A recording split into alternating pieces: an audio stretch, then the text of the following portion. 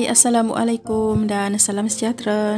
Bertemu lagi di channel Emiry's Kitchen. Hari ini saya nak kongsikan resepi kek marble yang lembut dan gebu. Dalam satu mangkuk, timbang margarin sebanyak 170 gram.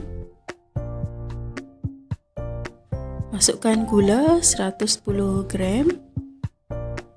Sedikit esen vanila untuk nak wangikan lagi kek. So kita putar margarin, gula dan esen vanila ni sehinggalah adunan ni dia kembang dan berwarna putih. Selepas 10 minit di mixer, okay, adunan pun dah jadi kembang putih kepu. Okay, matikan mixer sekejap. Sediakan 3 biji telur grade A. Ini kita masukkan satu persatu. Putar lebih kurang 2 minit. Okay, barulah masukkan telur seterusnya sehinggalah habis.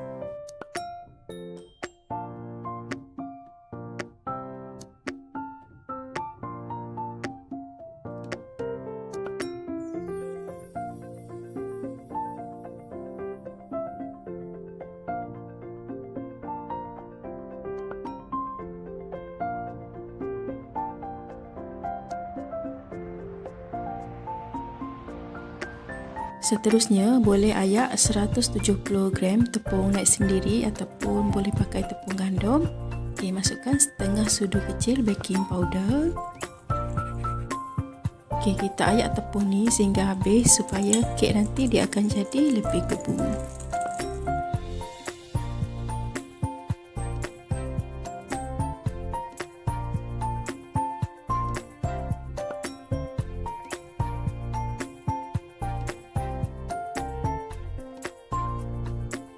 Last kali boleh masukkan 50 ml santan ataupun susu segar.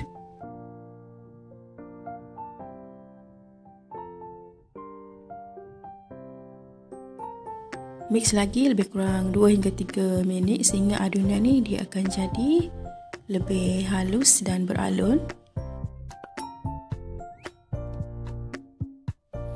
Kau adunan di tepi mangkuk tu dengan menggunakan spatula bahagikan kepada dua bahagian. Satu bahagian tu kita biarkan plain putih macam tu.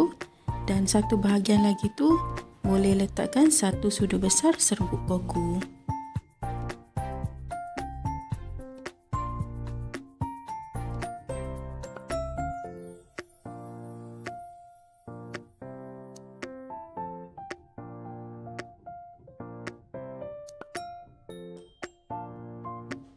Kacau sebati sehingga semua bahan tu dia akan bercampur rata. Sediakan loyang yang dah dioleskan dengan sedikit margarin and then lapik dengan baking paper. Kini saiz saya pakai ialah 7 inci. Okay, letakkan layer putih dulu lebih kurang 2 sudu. Dan kita selang-seli dengan adunan yang coklat. Okay, kita buat lagi lapisan adunan ni berselang-seli sehingga habis. Sementara tu dah boleh panaskan oven 10 minit awal sebelum kita baking. Bila dah siap isi adunan tadi tu, okay, kita hentakkan loyang ni beberapa kali untuk buang air bubble dalam adunan.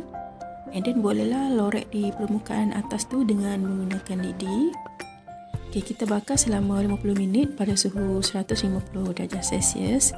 Nak elakkan kek ni merekah di bahagian tengah tu, boleh gunakan loyang yang lebih besar atau boleh rendahkan suhu.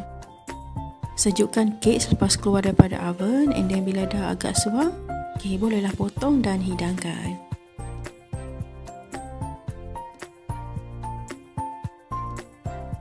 Okey, ini dia kek marble zebra. Okey, saya nak cuba sikit. Okey, boleh tengok sini tekstur dia memang sangat lembut dan gebu. Kalau ada kopi ataupun teh lagi sedap. Okey, itu saja perkongsian pada kali ini. Jumpa lagi pada video yang akan datang.